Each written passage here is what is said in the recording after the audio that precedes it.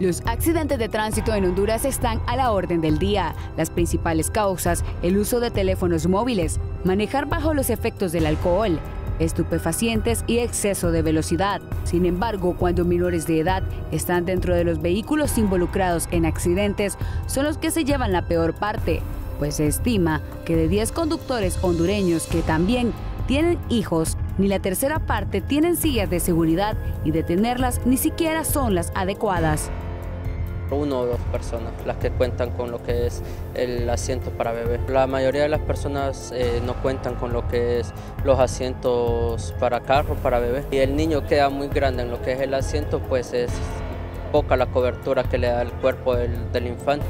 Es mejor que el asiento sea más grande que el infante a que el infante sea mayor que el, que el asiento.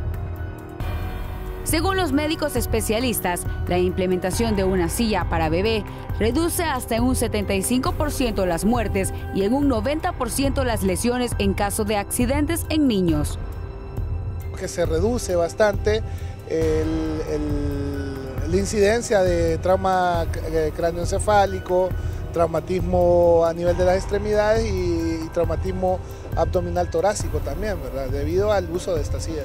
Si el niño no lleva ningún tipo de protección, eh, pues salen eyectados, mejor dicho, del asiento y esto puede impactar su cráneo hacia el, parabrisas o hacia el asiento que, esté enfrente de ellos y esto puede ocasionar eh, traumatismo bastante severo, inclusive hasta la muerte.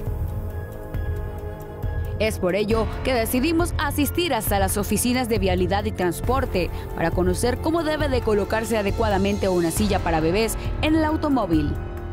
Tipo de silla, pero en este caso esta silla es utilizada para ponerse en esta posición. Existen diferentes posiciones las que, las que pueden utilizar, pero como podemos observar, va asegurada a lo que es el cinturón de seguridad de la parte posterior del vehículo. En este caso, en este dispositivo se va por la parte posterior. Como lo podemos observar en este momento, que sale por este lado de acá. Esa lado de acá es la que, la que estamos viendo en este momento. Y lo enganchamos en esta parte de acá. De esta manera el, retenedor queda afianzado a, lo que es el asiento y al momento de verse un impacto o algún movimiento brusco que hagan los niños, pues no sacan de la silla.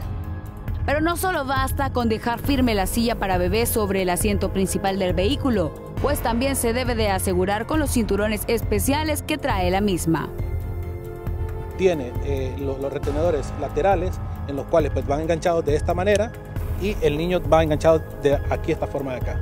Ya la ley de tránsito menciona que llevar niños en la parte frontal de los vehículos, ya sea como pasajero o en los brazos de los conductores, está prohibido, por lo cual debemos de hacer siempre el llamado de atención correspondiente para evitar esta conducta. Se recomienda que los niños se transporten en su silla de seguridad por lo menos hasta los 8 o 12 años, cuando estos ya puedan utilizar el cinturón de seguridad del vehículo por sí solos. Durante el año se han registrado más de 5.000 accidentes de tránsito, donde han fallecido más de 1.600 personas, gran número de ellos menores de edad, cuyas muertes se hubieran evitado si se tomaran las medidas respectivas. Para HCH Noticias, con imágenes de Alejandro Irías y Luis Fiallos, les informó Nirvana Velázquez.